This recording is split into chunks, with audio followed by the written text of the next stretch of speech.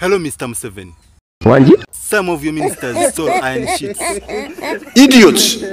So, what is your take about that? Why do you go to the public if you don't have a public spirit? Try to simplify, Mr. President. I am sure of what I am ah, saying. And that is a miracle. Eh? Eh? So, which advice do you give them? If you don't want for the public, go and do your own private things. Mazima. ekuba